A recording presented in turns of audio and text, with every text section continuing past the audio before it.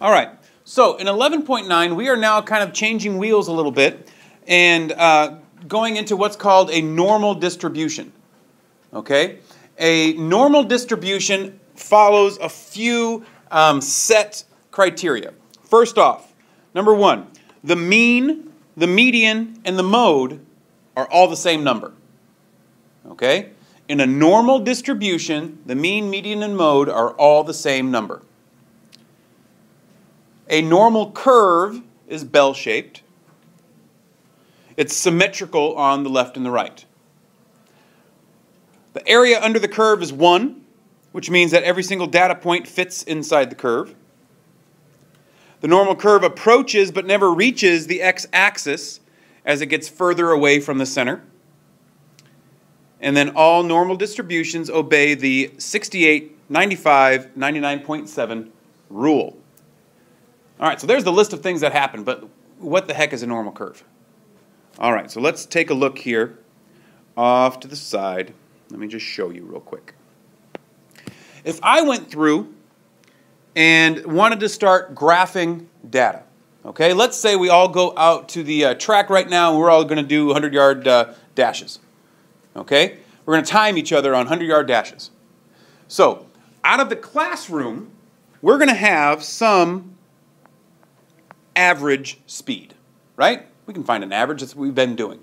Okay, well, in a normal distribution, if I start counting people, saying, all right, so um, a couple of us ran at the average, uh, somebody else ran at the average, um, let's say, oops, one standard deviation, two standard deviations, three standard deviations away from the mean. Remember that number 18 in the homework we talked about, how I'm getting those values. I don't know numbers yet. That's why there's no numbers up there.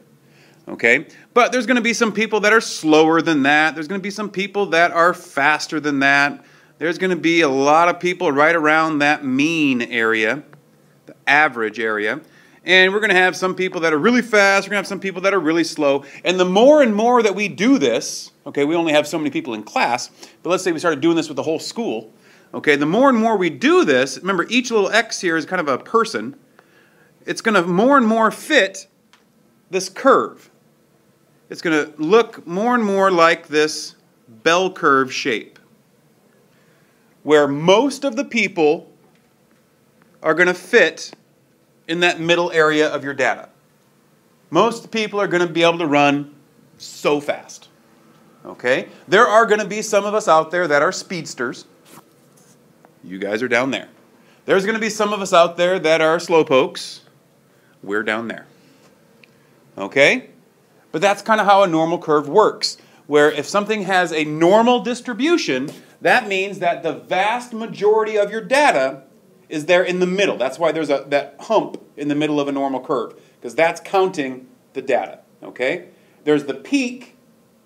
The maximum value is your average, because the maximum number of people hit that average. That's what we're saying about a normal curve. The mean, the median, and the mode are all the same number, and it's all right in the middle of the curve. So if we look here, this is then how that would break down. Okay? Your average, your mean, is right in the middle of the graph. Okay?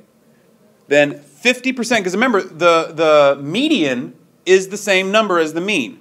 And so therefore, half of your data is to the right of your graph, half of your data is then to the left of your graph okay?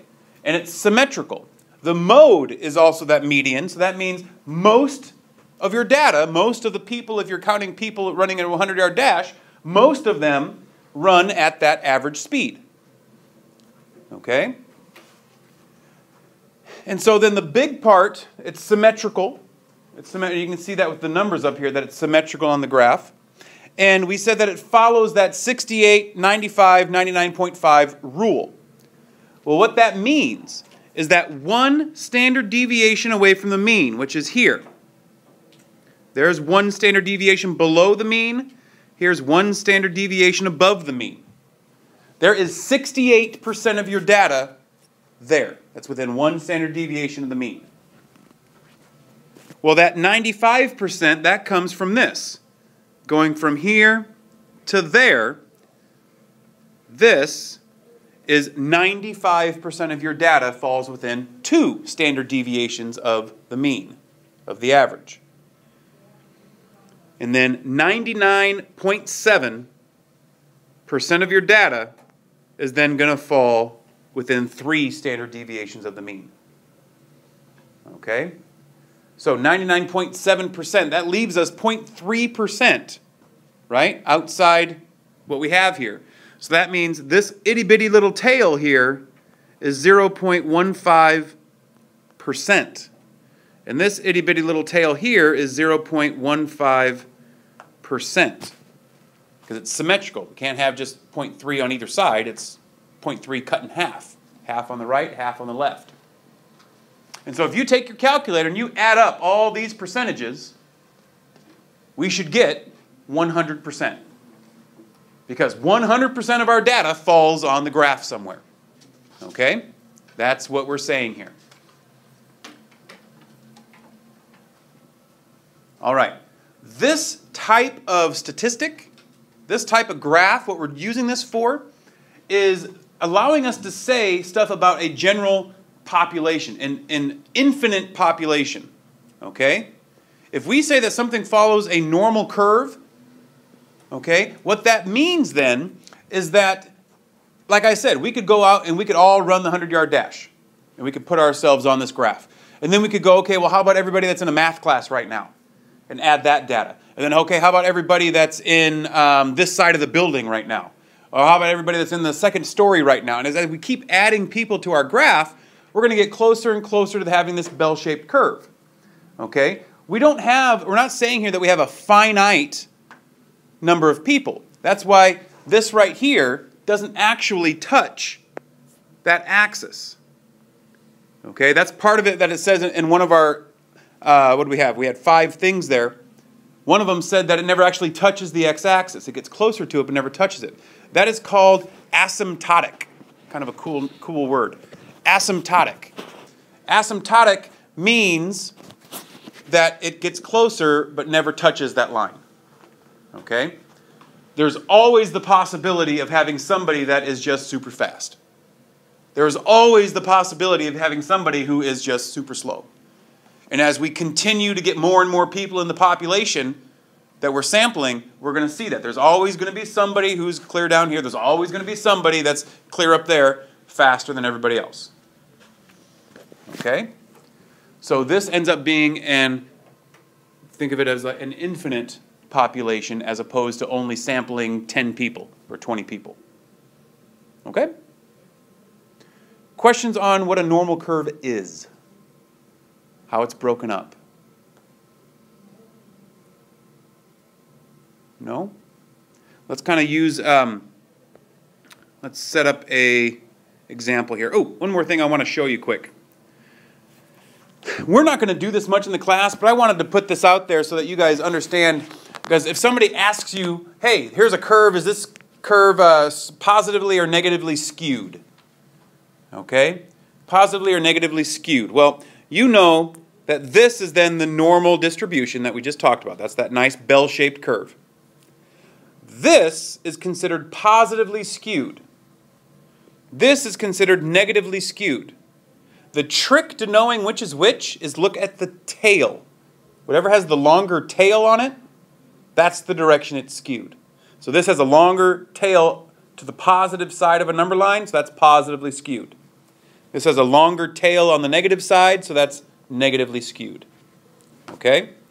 In this class, we're going to only deal with a standard normal distribution. Okay? All right, let's take a look at our first example here. We just want to sketch a normal curve. In fact, I already give you the normal curve. You just need to put in data for it. Okay? So, uh, zoology. Uh, for a population of male European eels, the mean body length and one positive and one negative standard deviation is shown below. Sketch the normal curve showing the eel lengths at 1, 2, and 3 standard deviations from the mean. So, first off, the mean body length. Remember, mean means average. So our average body length is 15.7 inches. So if we look over here to our picture I gave you of a normal curve, where do I put that 15.7? Where do I put that average? Right in the middle. So right here in the middle, I say 15.7. That is our x bar. That's our average. All right, well, then they give us one standard deviation above that. So one standard deviation above that is 18.5. So above that then means to the right. 18.5 is one standard deviation away. Notice that's that one tick mark. The tick marks are showing standard deviations away from the mean. So one standard deviation away is 18.5. One standard deviation to the left is 12.9. Okay, well, that's great, but to fill in the rest of this graph, we need to know what the heck the standard deviation is. How do you suppose we're going to find that?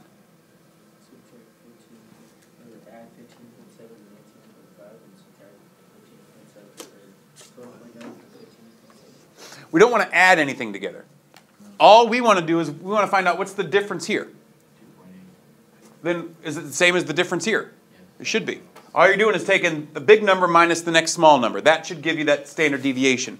Big number minus the next small number. That should give you the same standard deviation, which is, say it again, 2.8. So our standard deviation here is 2.8. Okay? So, let's go through then and fill out our chart. So if 18.5 is one standard deviation away, how do I find two standard deviations away? Anyone? I add another 2.8. So take 18.5 plus 2.8 in your calculator. What do we get? 21.3. So 21.3. Well, now we got to add another 2.8. What do we get? 24.1.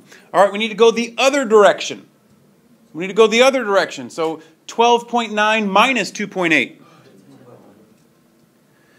10.1 minus 2.8. All right, so what does this mean for us now? This means that 34% of all European male eels have a length between 15.7 and 18.5 inches. That, again, 34% of all male European eels have a length of 12.9 to 15.7 inches. So therefore, 68% of all European eels are between 12.9 and 18.5 inches long. That's what our data is now telling us. Okay? What's the next percentage out? So 13.5 on either side. 13.5%. Okay, so we know 13.5% of our uh, population, the world population, is between 18.5 and 21.3 inches long. 13.5% is between 10.1 and 12.9 inches long. Okay? And then we have our last one, which is 2.35.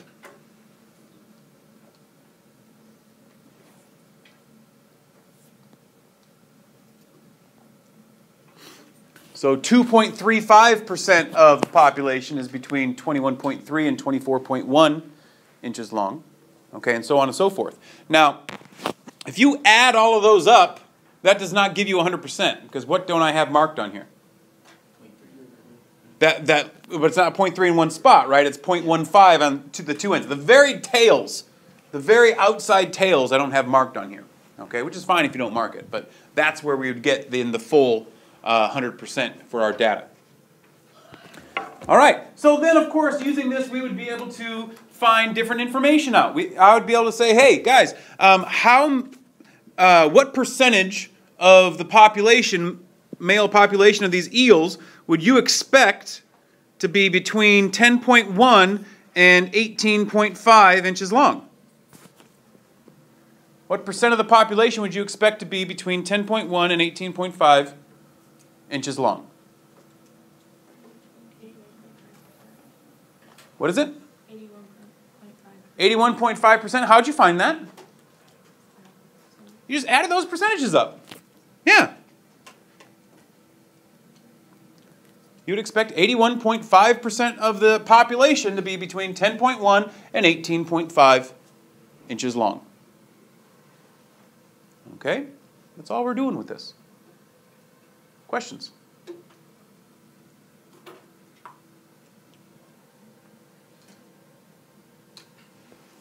Okay, let's try another example. We are again analyzing data, and we have, they say the heights of adult American males are approximately normally distributed with a mean of 69.5 inches and a standard deviation of 2.5 inches. So we want to go through first and draw our normal curve. So where do I put that 69.5 on my curve? Right in the middle. That's where the mean goes. So 69.5, that is our x bar. Okay, well, we have a standard deviation of 2.5. So how do I get how tall men are that are one standard deviation above the mean? I take 69.5 plus 2.5. What do I get?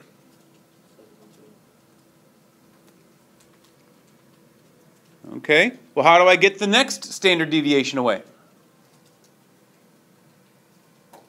Add 2.5. Yeah, this just keep on going. How do I get three standard deviations away? Add another 2.5. So I get 77, right? Okay, well now I got to go below. So I got to take my mean and subtract my standard deviation. So 69.5 minus 2.5. I got to go two standard deviations to the left, so 67 minus 2.5. And then again, three standard deviations away, so 64.5 minus 2.5. 62. All right, so there we have our normal curve drawn out with all of our values given. Our mean is given. One, two, and three standard deviations to the right and the left are provided for us now. So, going back to the question here, question A says, What percent of adult American males are between 67 and 74.5 inches tall? So, to find that out, we got to go back to our graph. And we're saying, all right, well, 67 is sitting right there and 74.5 is sitting right there. We want to find out what percentage of American males fall in that range. Well, how are we going to find that out? What do you think? Add up what? Right. Don't forget to go back to this chart right there. It tells you all your percentages. Okay? If information follows a normal curve, then it's always going to follow those percentages. And so if we come back here, 67 is one standard deviation away from the mean, so that's 34% of our data between those two bars. 72 is one standard deviation away, so that's again another 34% between those two bars. And then 72 and uh, 74.5, 74.5 is two standard deviations away, and so that gives us 13.5% of our data sitting there. And so to find out what percentage of American males are between 67 and 74.5 inches tall, we add up those percentages. And that gives us what? 81.5%. Okay? Now, the last question is slightly different. Okay? It says in a group of 2,000 adult American males, about how many would you expect to be taller than 6 feet? Well, 6 feet is 72 inches. So first we need to find the percentage that we would expect to be taller than 6 feet. So again, looking back at our data, 72 inches is right here. So what percent of our data is taller than 72 inches? How did you find 16? Okay, you can go through and say, well, we take 13.5, because that's this area here, and uh, 2.35, which is that area there, and then say, okay, well, that itty bitty little tail is going to be 0.15%. You can add all those up. Or, or you could say to yourself, well, I know that from here over is 50% of my data. Right? I know that from the mean going to the right, that's 50% of my data. But I don't want this part. So I would take 50 minus 34, and again, that gives me 16%. Okay, so there are two ways of looking at it. Both of them are correct. So 16% of American males are going to be taller than 6 feet. But what does that mean for us if we're taking a sample of 2,000 adults? How many of them would we expect to be taller than 6 feet? How are we going to find that?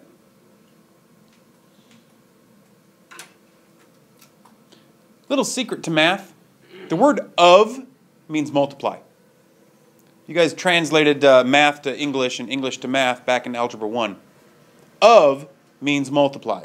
So if I say, hey, what is 16% of 2,000, what am I going to do? I'm going to multiply. I'm going to take 16% times 2,000. But do I actually type in 16 in my calculator? No, I got to change it to a decimal. I've got to take 0.16 times 2,000. 320 out of our 2,000 should be taller than 6 foot.